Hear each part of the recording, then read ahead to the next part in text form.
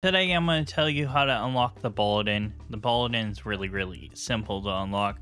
All you have to get is a 100 Ballwark in a run. The easiest way to do that is, of course, by getting some of the relics to get Ballwark. Essential oil you can use to get it. You can also use ball peen hammer. Ball peen hammer is going to be one of your best bets.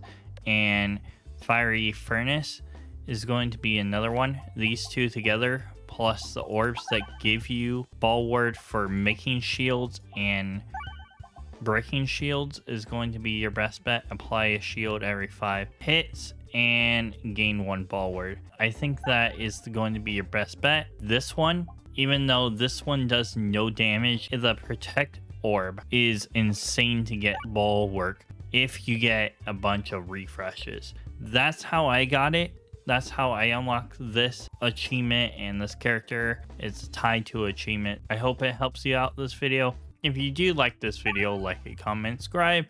Thank you for watching. Really do appreciate it. And I will see you next video. Later.